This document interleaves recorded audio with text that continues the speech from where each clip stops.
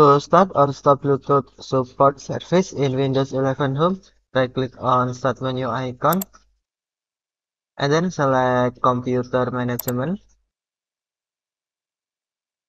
Next, click on tap Services and Application drop-down menu. Select Services. And then find Bluetooth support service.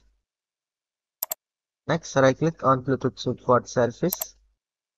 Tap start to start or tap stop to stop.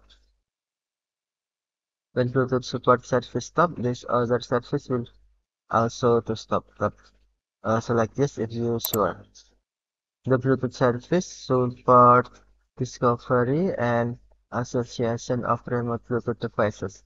Stopping or disabling this service cause already installed Bluetooth devices to fail to operate properly and prevent new devices from being discovered or associated. Okay, thank you for watching. Have a nice day.